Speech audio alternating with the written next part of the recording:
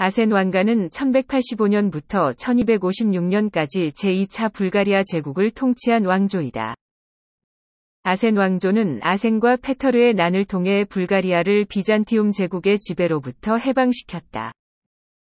아센 왕조의 칼로야는 자신을 불가리아인과 왈라키아인의 황제 라칭했고 이반 아센 2세는 불가리아인과 그리스인의 황제라는 칭호를 사용했다. 13세기에서 14세기의 아센 왕조의 몇몇 인물들은 비잔티움 제국에 귀순하였다. 그들의 이름은 현대 그리스에서도 인명으로 사용되기도 한다. 시슈만 왕가의 목의 혈통은 아센 왕가와 연관된다.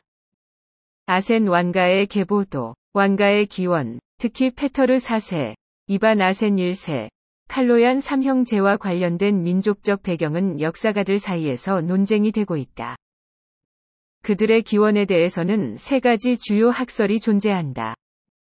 불가리아인 기원. 불가리아 역사가들의 일반적인 관점이며 당대 불가리아 제국 내에서의 자료에서는 지배적으로 불가리아란 호칭을 사용하는 것과 차르칼로얀이 제1차 불가리아 제국의 후예라고 주장한 것을 근거로 삼는다.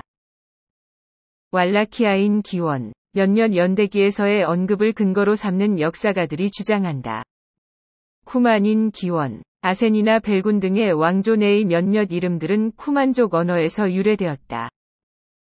그들의 행정문서나 편지에서 삼형제는 자신들을 제1차 불가리아 제국의 차르 시메온 1세, 페터르 1세, 사무일의 후손이자 계승자로 보았고, 제1차 불가리아 제국과 연결되는 국가를 세웠다고 보았다. 하지만 이는 정권의 정당성을 얻기 위해 주장한 것일 수도 있다. 왕가의 이름은 창건자인 이반 아센 1세의 이름에서 유래된 것으로 이는 튀르크계의 쿠마너의 편안한, 안전한 등의 뜻을 지닌 에센에서 유래되었다. 또한 그의 별명 벨구는 현명한 을 일컫는 튀르크어 필건에서 유래되었다. 이를 뒷받침해주는 근거는 아토스 산의 대라브라 수도원에서 발견된 12세기 후반의 문서에서 발견할 수 있는데 여기서는 쿠만족과 관련된 수도원의 문제를 언급하면서 쿠만족 중 한 명으로 아센이라는 이름을 언급하고 있다.